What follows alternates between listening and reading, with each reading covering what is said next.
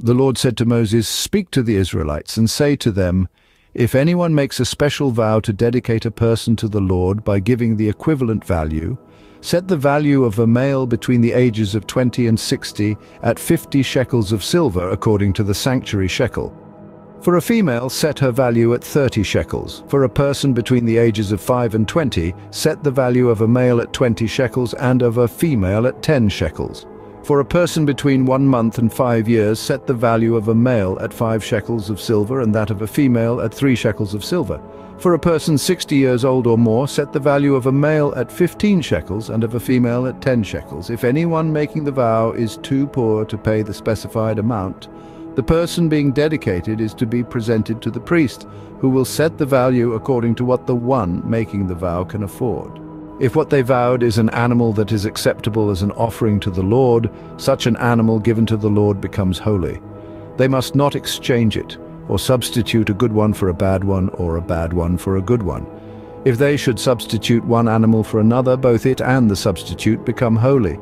If what they vowed is a ceremonially unclean animal, one that is not acceptable as an offering to the Lord, the animal must be presented to the priest who will judge its quality as good or bad. Whatever value the priest then sets, that is what it will be. If the owner wishes to redeem the animal, a fifth must be added to its value. If anyone dedicates their house as something holy to the Lord, the priest will judge its quality as good or bad. Whatever value the priest then sets, so it will remain.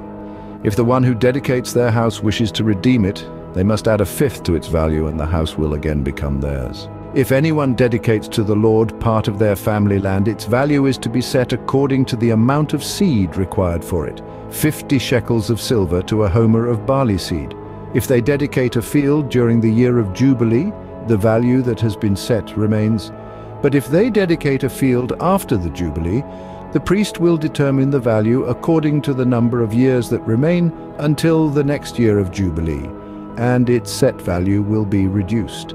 If the one who dedicates the field wishes to redeem it, they must add a fifth to its value, and the field will again become theirs. If, however, they do not redeem the field, or if they have sold it to someone else, it can never be redeemed. 21. When the field is released in the Jubilee, it will become holy like a field devoted to the Lord. It will become priestly property. 22. If anyone dedicates to the Lord a field they have bought, which is not part of their family land, 23. The priest will determine its value up to the year of Jubilee, and the owner must pay its value on that day as something holy to the Lord. 24. In the year of Jubilee, the field will revert to the person from whom it was bought, the one whose land it was. 25. Every value is to be set according to the sanctuary shekel, 20 gerahs to the shekel. 26.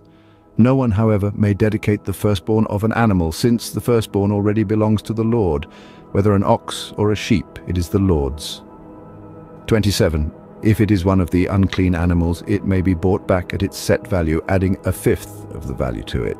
If it is not redeemed, it is to be sold at its set value. 28. But nothing that a person owns and devotes to the Lord, whether a human being or an animal or family land, may be sold or redeemed. Everything so devoted is most holy to the Lord. 29. No person devoted to destruction may be ransomed, they are to be put to death. 30. A tithe of everything from the land, whether grain from the soil or fruit from the trees, belongs to the Lord. It is holy to the Lord. 31. Whoever would redeem any of their tithe must add a fifth of the value to it. 32.